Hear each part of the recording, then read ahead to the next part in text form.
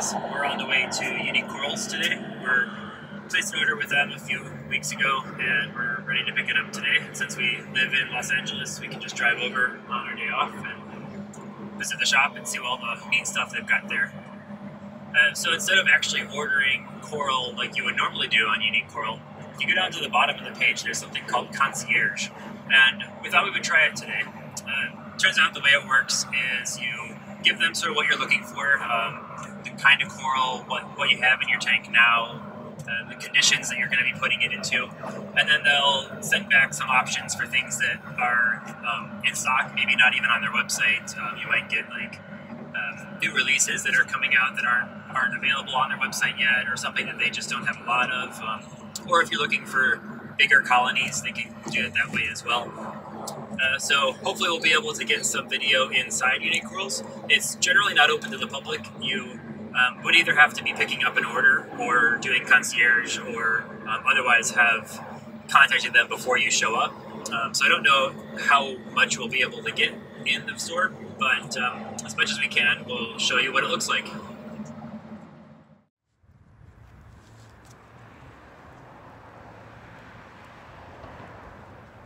So when you get to Unique Corals, it's a completely unmarked um, facility just on the side of the road here. Um, if you don't know the address, which you can get from Google Maps or their website, um, you're not going to really be able to find it all that well because there's no sign.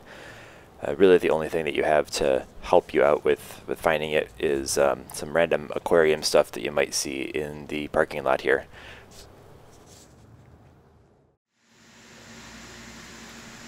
So inside Unique Corals, there's a bunch of these raceways. Uh, they're pretty deep, but the coral is actually just in the top, maybe foot of the of the tanks. Um, I noticed they have some signs up that show water changes. Uh, they seem to do anywhere from 300 to 500 gallon water changes on these raceways uh, at a time. And they're maybe 20 feet long. You can see here, uh, this one has a lot of stony coral in it. Um, they're separated mostly by types of coral and I, think by care requirements. Um, there's some fish, a lot of tangs, things like that to clean it up. Lots of really big um, snails. Uh, this one had a lot of colonies at the end and then um, into frags of colonies, which are just small pieces. So a lot of these colonies they use for propagation. They, um, they grow them and then you break off pieces and grow the pieces and then they sell the pieces on their website. Um, so a lot of these uh, colonies are for sale, but a lot of them are also their own um, like mother colonies for fragments. And then another raceway that they have, um, I didn't show all of them, but I, I, thought I'd walk through as many of, of them as I could. Um, you know, more frags. This one had large polyp stony coral. You can see here towards the end um, a lot of uh, brain corals and things like that at the end. Um, scolies, um, large polyp stonies, and more frags. All right, so it's the next day, and everything has had a chance to acclimatize. And I thought that I would give a little last overview of all the things that we picked up. Um, so we have this Acanthastrea. Um, a hermit crab just bulldozed through here recently and aggravated it, so it's kind of closed up. Um, but when it opens up again, I'll probably give it some shrimp. It, uh, it's had feeding tentacles out all day. And then we have two Millepora, Acropora millepora, different kinds, but um, both the same species. And then next to those, we have a deep water Acropora, an Acropora lokani. And you can see that the um, lokani has a much smoother skin on it than the Millepora this is a deep water coral. Um, we'll leave it towards the bottom half of the tank uh, when we go to place it. Then in the back we have a Acropora tenuis or tenuis.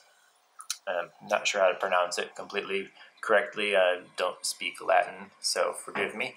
Um, this is uh, going to be in the upper half of the tank. Um, there's actually an Acropora crab inside it. You can't see it all that well, um, but um, right in the middle there, you can you can sort of see the the crab's um, pincher. There's a few different kinds of Acropora crab that you might get in your tank. Not all of them are good for your tank. Uh, this one, I think, is one of the better ones. Um, some of them will eat your fish uh, and just kind of hitchhike on Acropora, and others um, actually live in the Acropora and keep it clean and, and healthy. So I think this is one of those and not uh, not the bad kind. Um, so I'm going to leave it in there. And then we have a gold torch coral in the back. Um, still not quite fully expanded, um, but looking nice. You can see it has nice um, golden tentacles with um, a contrasting sort of like grayish silver end to them. So looking forward to seeing that one um, open up more. So that's all of the larger colonies that we got.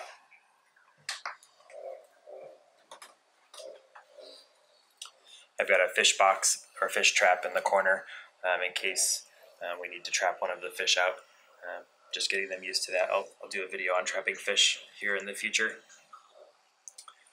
Um, so then on the other side, we have all of the small frags that we got. We have a really nice uh, Oregon tort, an Acropora tortuosa. It's um, you can see a nice, really blue teal color, much nicer in, in person than you're seeing on the, the film. Um, and then two different Acropora. I'm not sure exactly what the green one is.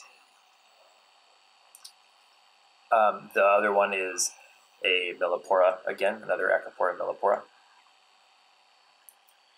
And then we have three other Acropora on the side.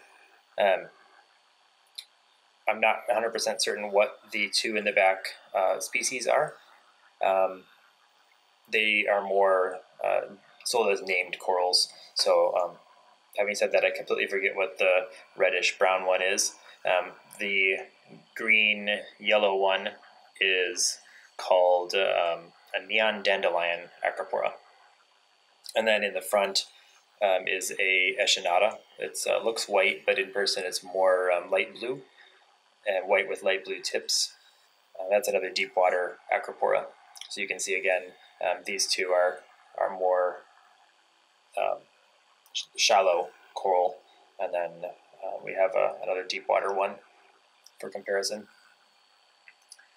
Moving on, we have a different genus. We have Montipora instead. Um, Montipora can grow to look exactly like Acropora, um, but a lot of them also grow encrusting like this, and so we have two different kinds. Um, you can see we have a green with sort of bluish purple polyps, one that's sort of undulating, and then the other form is much smoother, and this is called a rainbow um, Montipora. You can see where it gets its name from all the different colors in the polyps. I'll try to zoom in so you can see those a little bit better. Um, you can see there's green and red and orange and just all sorts of different polyps in there. And then we also have two different Favia, which are large polyp stony corals. Um, particularly liked the colors of them. Um, this one has really nice red, bright, bright red around the edges where it's growing. Um, can't see it too well on the film.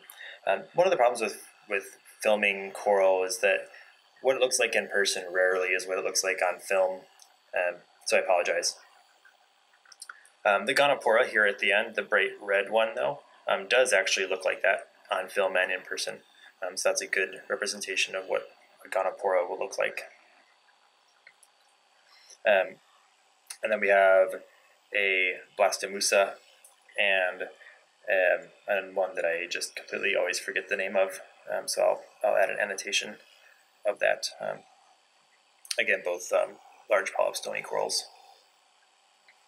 So that's a good overview of what we got there the day. Um, hope you enjoyed it, and we'll see you next time.